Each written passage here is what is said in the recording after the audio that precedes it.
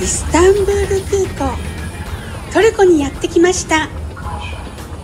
トルコ8日間の旅の始まりです。ターキッシュエアトラベルのツアーに一人参加です。イスタンブールの新空港はとても広くて少し迷ってしまいました。無事イミグレーションを通過。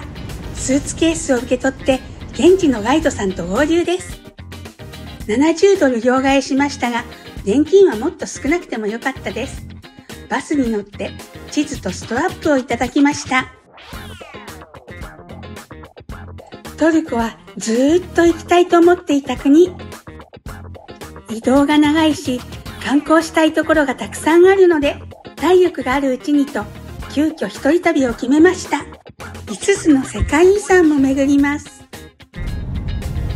一人旅といってもツアーに参加の一人旅です歴史的建造物や異なる文化見たこともないような広大な自然新しい出会いにワクワクです。ヒルトンホテルに到着しました。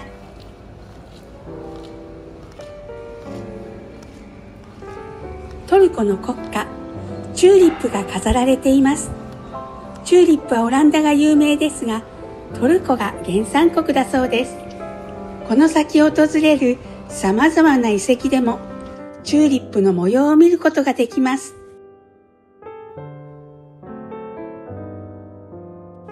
朝ごはんをいただきます。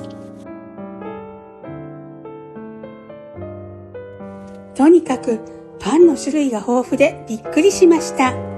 そしてとても美味しいんです。ずっとパンが並んでいます。惣菜パン的なものからデニッシュまで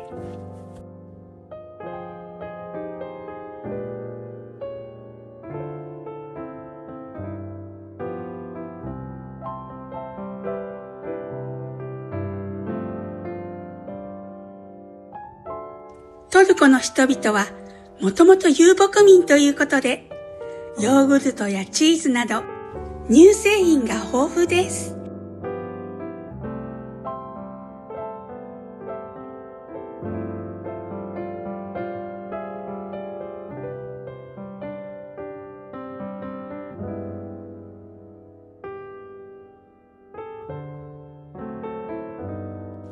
スイカが最高に美味しかったです。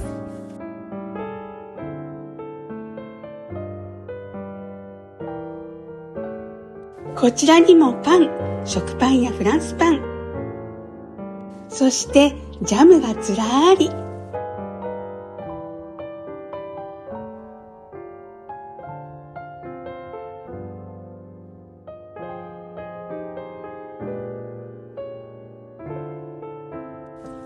米はピラフとして、この後もよく出てきました。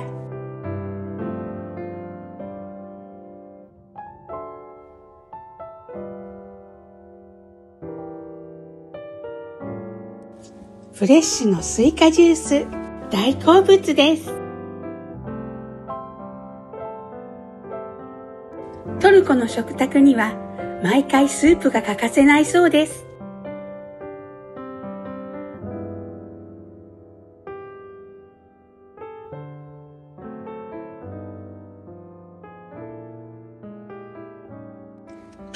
ような薄い生地にチーズを挟んでいました。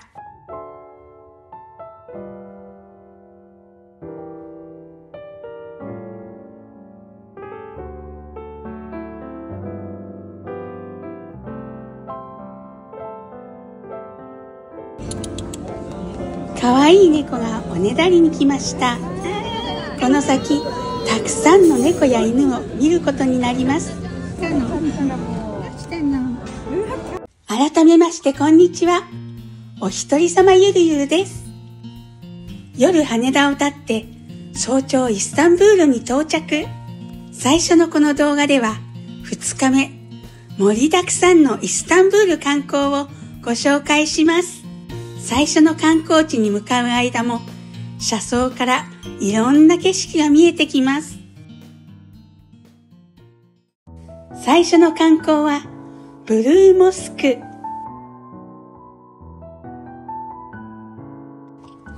女性は肌を露出させない服を着て、頭にはストールをかぶります。ここで女性も男性も全員靴を脱ぎます。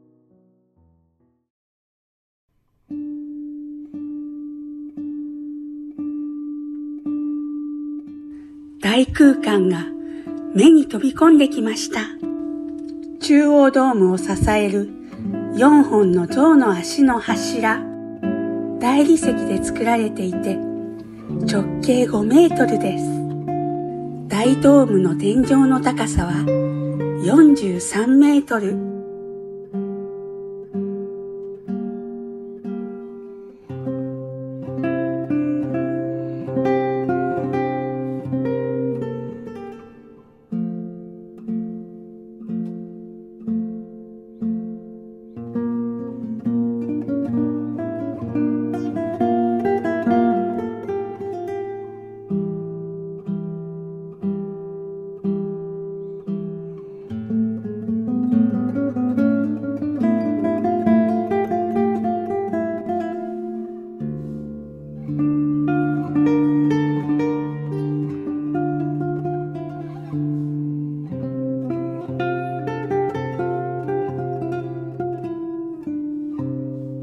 光を取り入れるステンドグラスの窓は260個。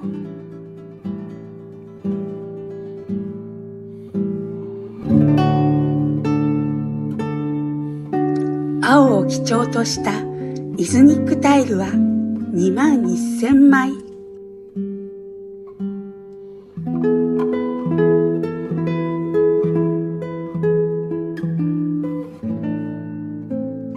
美しさと大きさに圧倒される空間でした。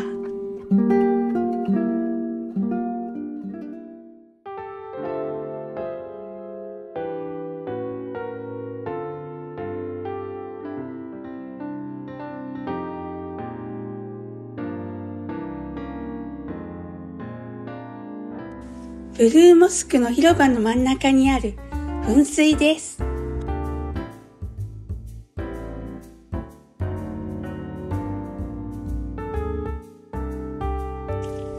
祈りの前に体を清める水場が必ずあります。ヒポドローム。ここはかつての競馬場だった後です。オベリスクと呼ばれる巨大な柱が立っています。紀元前9世紀、エジプトから運んだというオベリスク。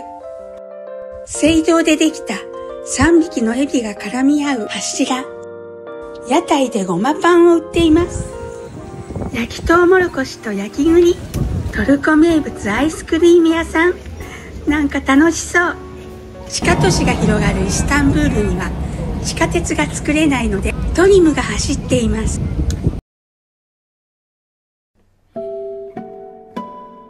地下宮殿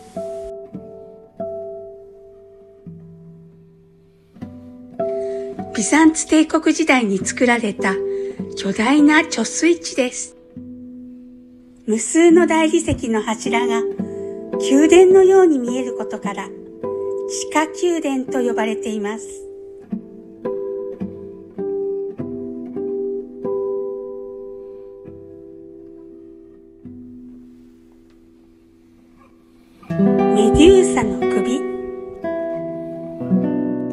なぜ横なのか、逆さまなのか、謎だそうです。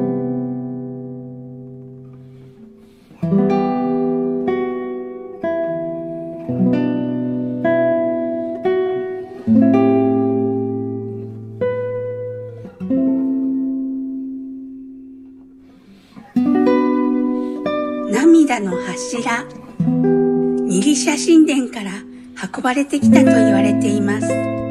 願い事をすると叶うという言い伝えもあるそうです。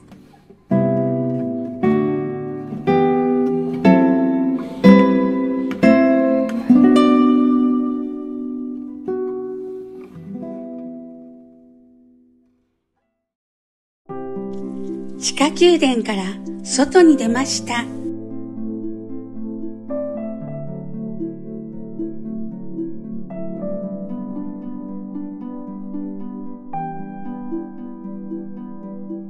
ブルーモスクの前景が綺麗に見える場所です。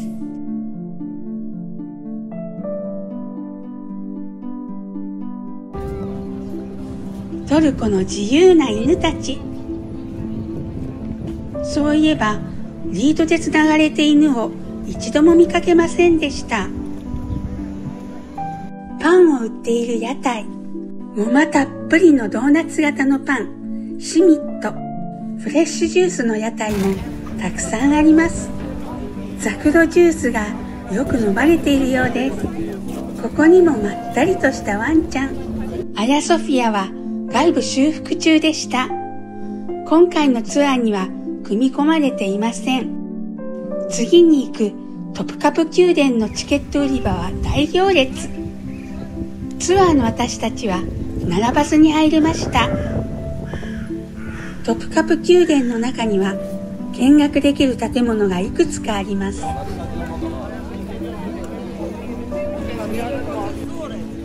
トプカプ宮殿。オスマン帝国の歴代の君主とその家族たちが暮らした宮殿です。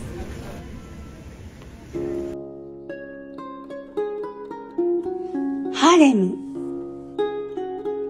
贅を尽くした装飾が施されています。ハレムは宮殿内の女性たちの居住区です。一夫多妻制で王様であるスルタンは4人まで妻をめとることができました。でも、ハレムでの最高権力者はスルタンの母親だったそうです。男性はスルタンとその息子のみしか入場が許されなかったそうです。黒人の宦官だけが奴隷として入るのを許されていました。描かれている花はトルコの国花、チューリップ。トルコはチューリップの原産国です。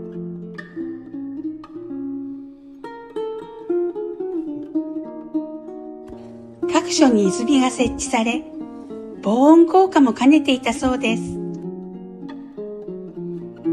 一番大きな部屋、スルタンの大広間です。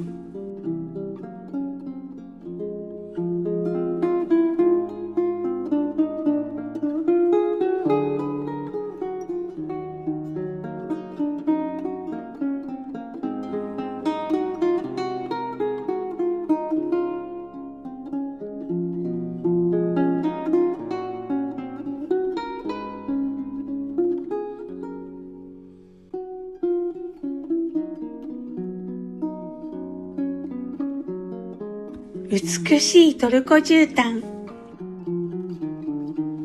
村戸三世のサロン。ブルーの壁とステンドグラスが美しいお部屋です。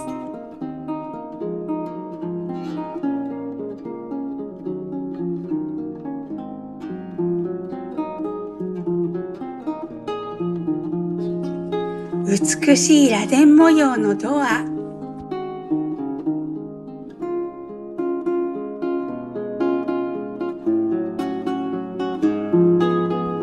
床のモザイク模様も美しいです。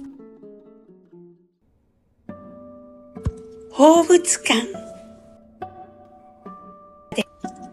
トプカプ宮殿の中で次に見ておきたいのは宝物館です。スプーン職人のダイヤモンド。86カラットのダイヤモンドに49個のダイヤモンド。大きなエメラルドが埋め込まれたトプカプの探検。目を見張るような宝飾品の数々を見ることができます。オスマントルコがどれだけ強大だったかがわかるような気がします。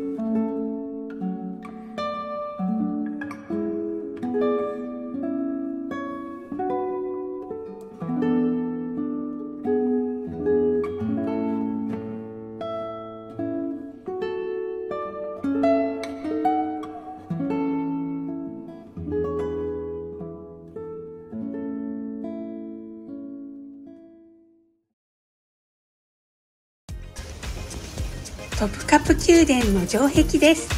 二重城壁になっています。これからサバサンドを食べに行きます。旧市街のヨーロッパ大陸側を走っています。少し庶民的な場所にやってきました。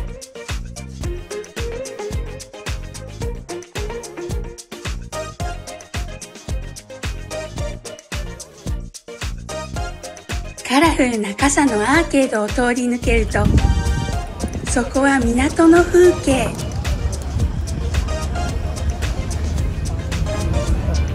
サバサンドのお店がずらりと並んでいます。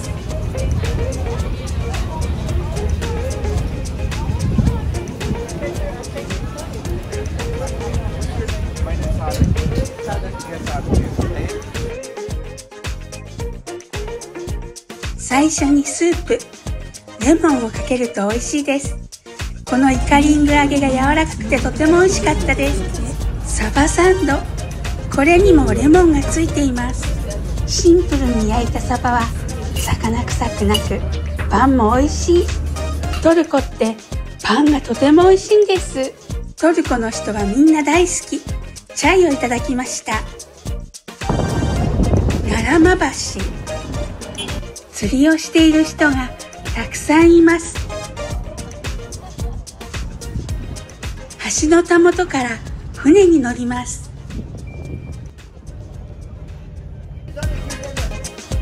乗り場のすぐ右の方に市場があったので寄ってみました。イワシとサバでしょうか。真っ赤なエラを出して新鮮さをアピールしています。野菜もカラフルで美味しそうです。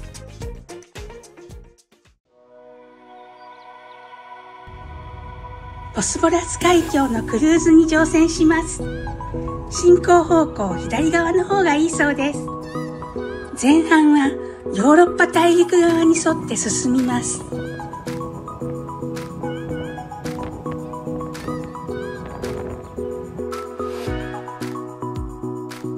カモメが船のすぐ横を飛んでいます。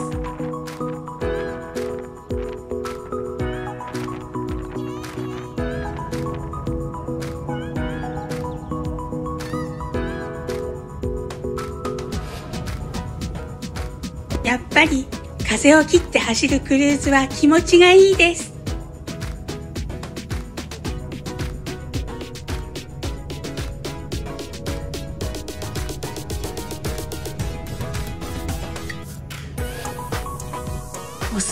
国時代の宮殿。現在は高級ホテルになっています。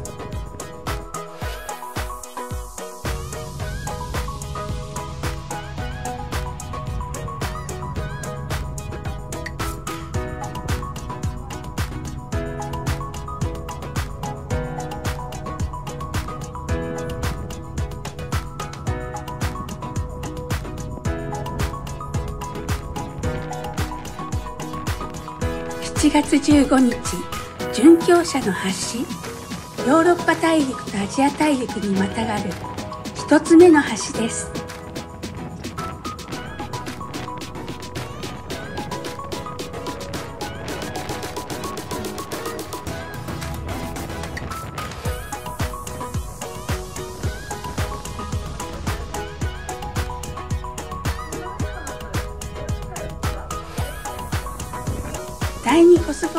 橋が見えてきました。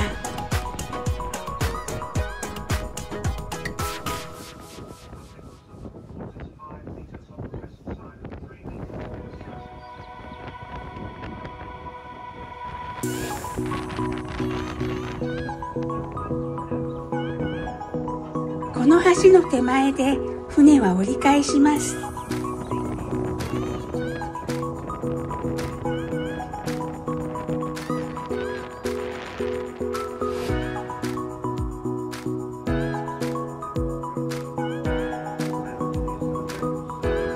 からはアジア大陸側を進みます。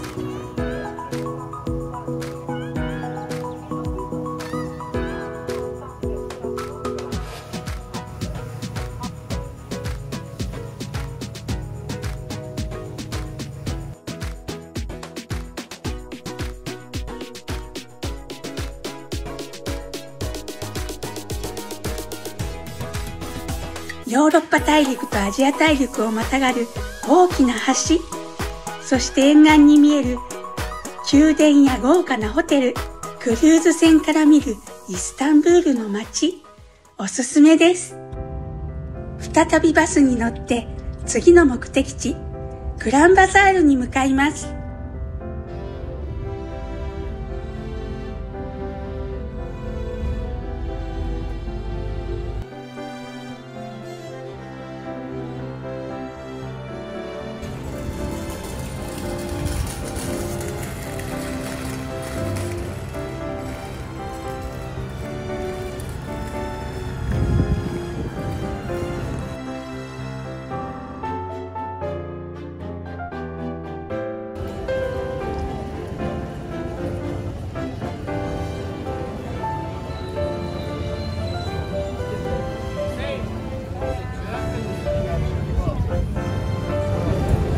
グランバザール。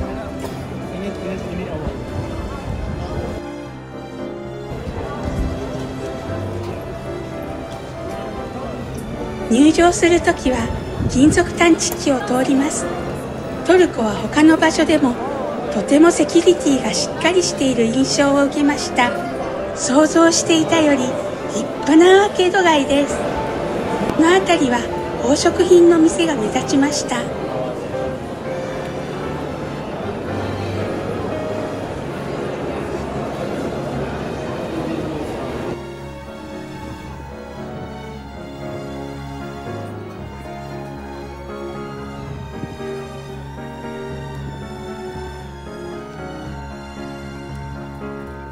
集合時間を決めて少しだけ自由時間。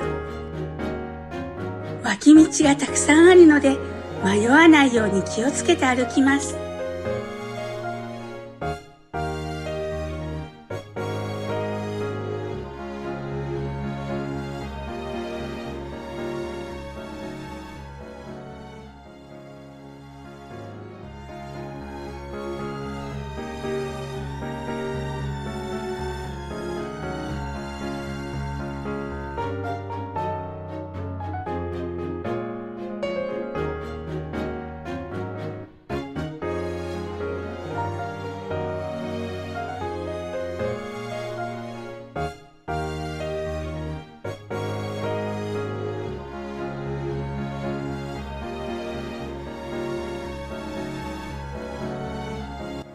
次の目的地までちょっと街歩き。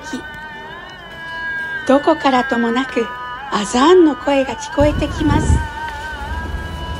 イスラムの国に来たなぁと実感しました。今夜の夕食はオリエント急行レストランです。ノスタルジックな香りのする駅舎。パリからイスタンブールのシルケジまで走っていました。オリエント急行の終着駅です。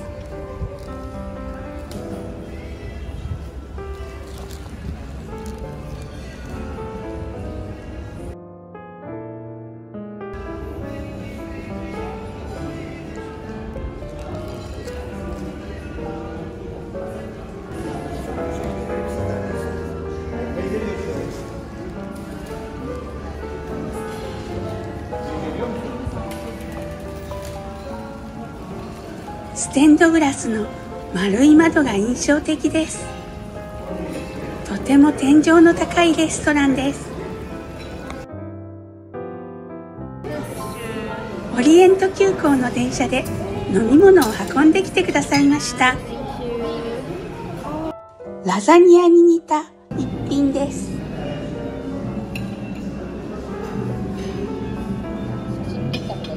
マッシュポテトのように見えるのはナスのペーストその上に柔らかく煮込んだ牛肉が乗っています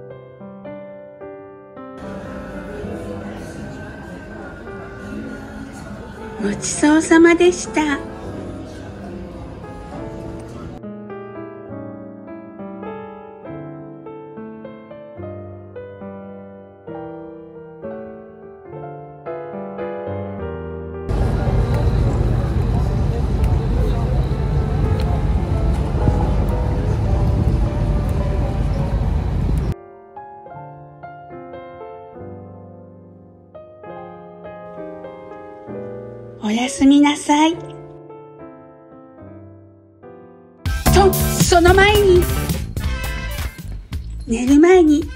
ツアーです。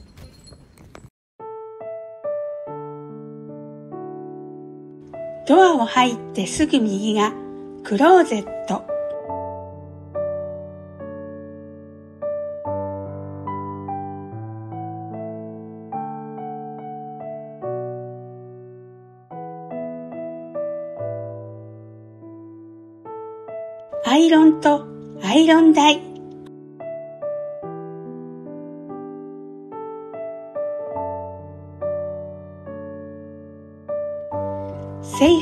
ボックスとドライヤー、左手にバスルーム、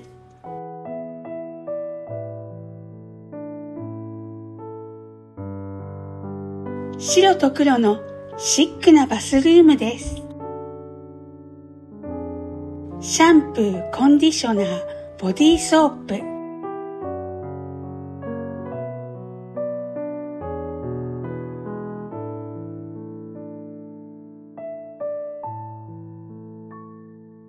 ドソープとボディーローション。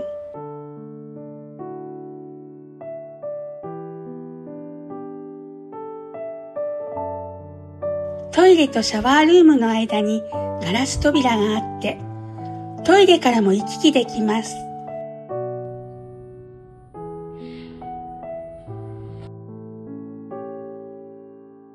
バゲージラックとミラー。テレビと冷蔵庫。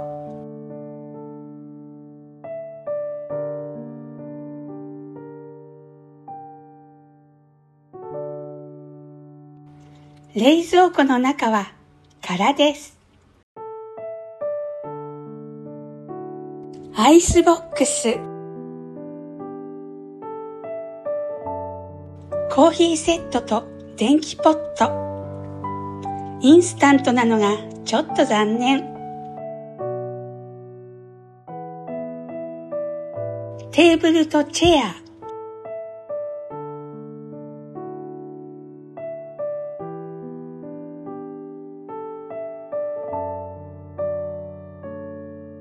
一人掛けのソファーとオットマン。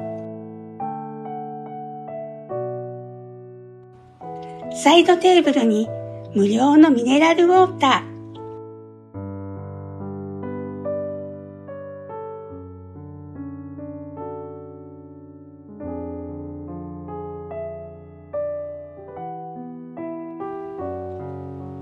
おやすみなさい。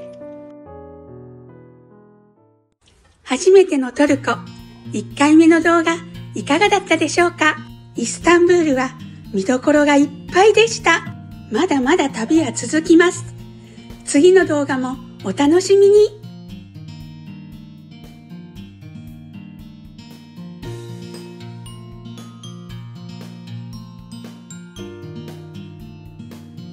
お一人様ゆるゆるはシニアの私が撮影から編集まですべて一人でやっています。登録、いいねボタンよろしくお願いします。っても励みになっています。では、またお会いしましょう。